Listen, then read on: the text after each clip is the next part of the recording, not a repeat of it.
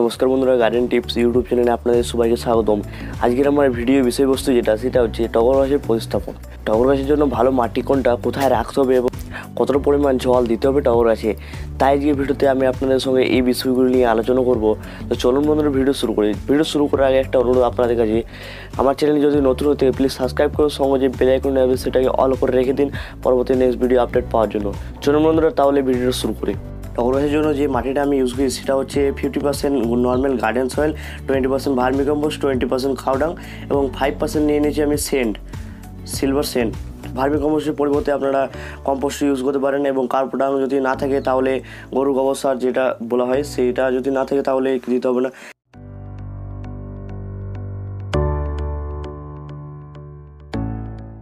এবার আমি টপ নিয়ে নিয়েছি একটা টবে যে ড্রেনেজ হোলটা থাকে, সেটাকে খোলামকুচি বা পাথর দিয়ে কোনো চাপা দিয়ে দেবেন, তারপর কিছু পরিমাণ পাথরের টুকরো দিয়ে দেবেন।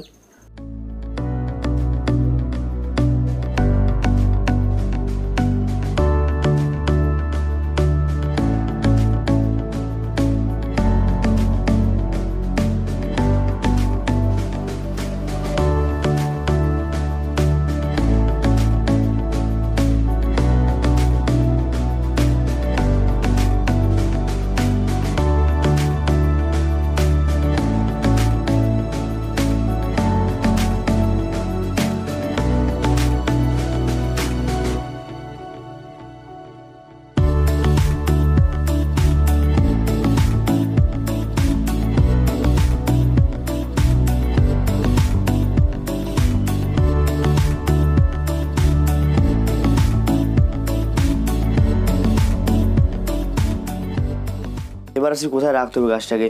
গাছটাকে এমন জায়গায় রাখতে হবে যাতে সাত থেকে আট ঘণ্টা প্রচুর পরিমাণে রোদ পায়। সেই জায়গার মধ্যে রাখতে হবে সেমি সেটের মতো কোনো দিনও রাখবেন না। ফুল বা ফল গাছ কোনো দিনও সেমি সেটের মধ্যে ভালো হয় না ফুল এবং ফল, ফলন ভালো হবে না। তার জন্য রোদে রেখে দেবেন ছ থেকে আট ঘণ্টা যেন রোদ পায়। এবার জল কেমন দেবো? জল যখন দেখবেন যে যখন থেকে প্রতিস্থাপন করার পর পনেরো দিন অন্তর দু, দুবার জল দিয়ে দেবেন, একবার সকালে, একবার সন্ধেবেলায়। আর যখন পনেরো দিন পেরিয়ে যাবে, তারপর থেকে একবার জল দেবেন সকালে বেলায় বা সন্ধেবেলায় প্রায় ষাট দিন পর। এই ফুলগুলো খুবই সুগন্ধ